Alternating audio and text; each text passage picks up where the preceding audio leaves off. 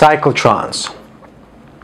Now that we discussed what a cyclotron is and we defined the cyclotron frequency, let's take a look at the following example that deals with the cyclotron. So recall that cyclotrons are basically particle accelerators that can be used to treat tumors in patients with cancer. Suppose that the radius of curvature for the larger vacuum chamber of this cyclotron is 0.3 meters as shown in this diagram. So if the strength of the magnetic field inside the chambers is given by 2 teslas, find in part A the cyclotron frequency of our proton inside our cyclotron. In part B, the maximum velocity velocity of that proton as it leaves the cyclotron shown in this diagram and in part C the non-relativistic kinetic energy of that proton.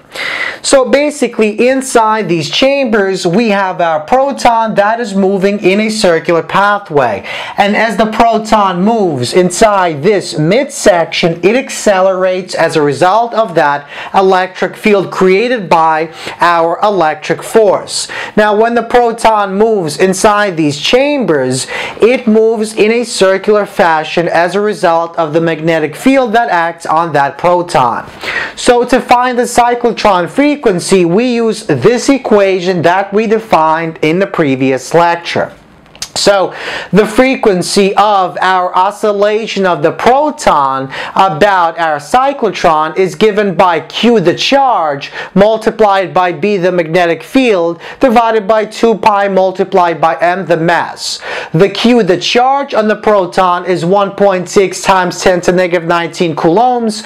The magnetic field B was given to be 2 teslas and the mass of our proton is 1.67 times 10 to negative 22 kilograms. We plug that in and we find that the frequency is 3.05 times 10 to the 7 hertz.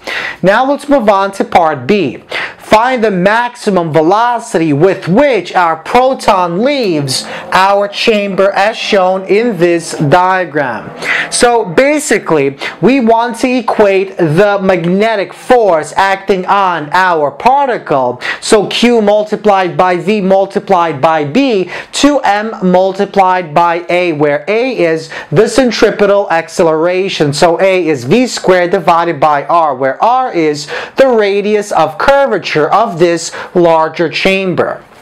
So we can cross out one of these v's and then solve for the v. The velocity or the non-relativistic velocity is equal to qr multiplied by b divided by m.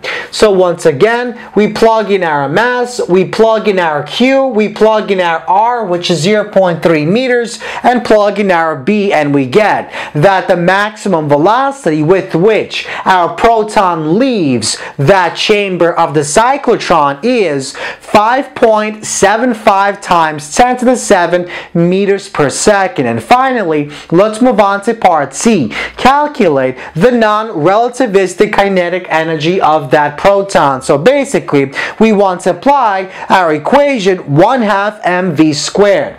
So m is given to be the mass, so it's 1.67 times 10 to the negative 22 kilograms, and the velocity was found in part B.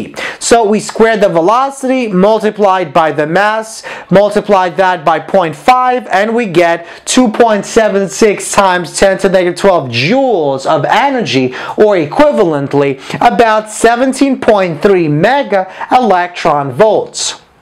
So this is how much energy that proton carries. And basically when that proton collides with one of those cancer cells, it can basically kill off that cancer cell by disrupting things like charge. So this acts as ionizing energy, as ionizing radiation. It ionizes the molecules and atoms within the cancer cell and that readily destroys that cancer cell inside that tumor tumor.